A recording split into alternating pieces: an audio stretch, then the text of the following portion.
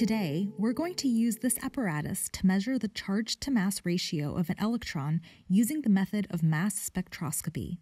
This entails sending an electron beam through a magnetic field and seeing how it behaves.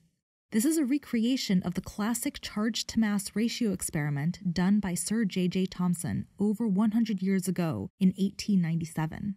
It was this experiment that led him to the discovery of the electron, the first subatomic particle to be identified. Measuring the charge to mass ratio of charged particles remains important today for a variety of scientific processes, such as separating different isotopes of an element. The E over M apparatus consists of three parts the electron gun, the E over M tube, and the Helmholtz coils. The electron beam, or what Sir JJ would have called cathode rays, is created by the electron gun, this cylindrical device here. The top cylinder contains the negative plate of a capacitor, also called the cathode, and the bottom cylinder contains the positive plate, or the anode.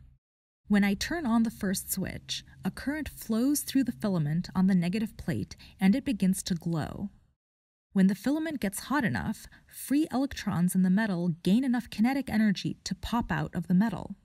When we then turn on the voltage across the capacitor plates, the electric field causes the electrons to accelerate down towards the positive plate. Most crash into the positive plate, but some pass through a small hole in the plate and create an electron beam, which you can see as the blue green glowing line. The electron beam itself is actually invisible, but the electron gun is housed in the spherical glass bulb called the E over M tube, which is filled with hydrogen gas. The blue glow that you see is the result of the fast moving electrons in the beam colliding with and ionizing the hydrogen gas in the tube. The magnetic field used to deflect the electron beam is created by these two circular copper coils called Helmholtz coils.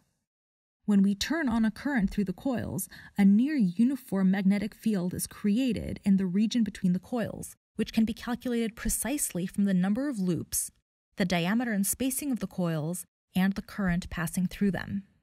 The two adjustable parameters on this apparatus are the electron gun voltage and the current in the Helmholtz coils. Your task is first to use your knowledge of how charged particles move in electric and magnetic fields to find a mathematical relationship between the charge to mass ratio of an electron and the three observable parameters V, I, and R.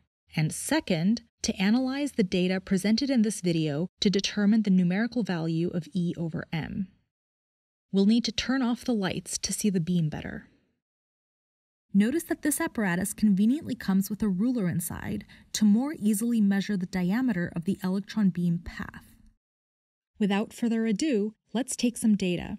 By observing and taking note of the following measurements, you should have everything you need to figure out E over M. At the end of the video, you'll be able to compare your results with the one JJ Thomson got and the current accepted value.